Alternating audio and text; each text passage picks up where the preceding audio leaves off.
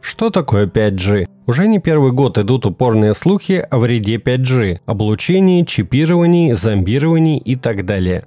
В данном видео разберемся, что такое 5G, говоря простыми словами. 5G происходит от английского Fifth Generation, что переводится как «пятое поколение». Речь в данном случае о пятом поколении мобильной связи, которая действует на основе стандартов телекоммуникаций 5G AMT 2020. 5G – это телекоммуникационный стандарт связи нового поколения.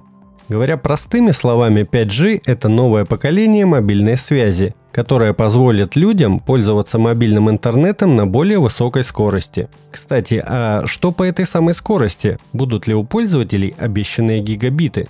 Максимальная скорость передачи данных при идеальных условиях 20 гигабит в секунду – это входящий трафик, а исходящий 10 гигабит в секунду. Пользовательская скорость передачи данных в плотной городской тестовой среде 95% времени 100 мегабит в секунду входящий трафик и 50 мегабит в секунду исходящий трафик. Как вы можете заметить, максимальная скорость в идеальных условиях действительно поражает воображение и открывает новые горизонты в плане пользования мобильным интернетом. Но это лишь идеальные условия.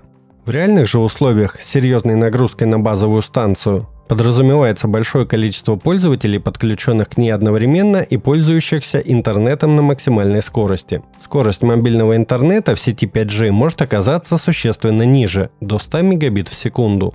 На сегодняшний день подобные разбросы есть и в сетях 4G. Некоторые абоненты могут похвастаться скоростью мобильного интернета более 100 мегабит в секунду.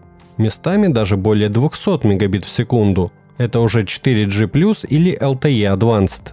Другие же абоненты жалуются в группах мобильных операторов в социальных сетях на скорость в 1 мегабит в секунду, а то и меньше. А операторы отвечают им нечто вроде «это соответствует минимальным стандартам».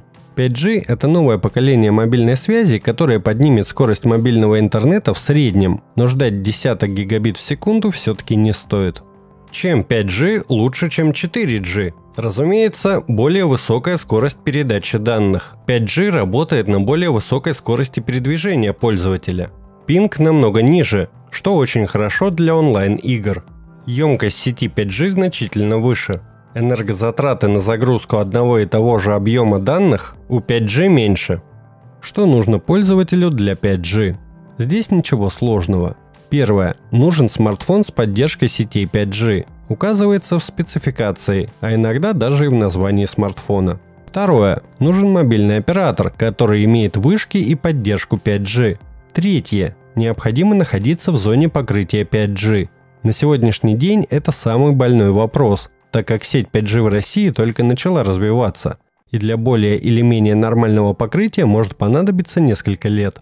5G – это опасная технология? В вопросе безопасности научный консенсус, то есть коллективное решение позиций и мнения сообщества ученых в определенной области науки в конкретный момент времени, заключается в том, что 5G – безопасная технология – а аргументы, которые используют ее противники, это конспирологические домыслы и теории, которые связывают с новизной технологии, что уже само по себе якобы является достаточной причиной не доверять ей. Да, базовые станции издают излучение, которое может неблагоприятно сказаться на здоровье людей, но существуют нормативы на установку базовых станций на определенное расстояние от жилых домов. Нарушения имеют место быть, но это не значит, что нужно поджигать или уничтожать другим способом станции 5G. Достаточно обратиться в соответствующие органы, чтобы урегулировать данный вопрос. А на этом у меня все. Буду признателен, если оцените данное видео.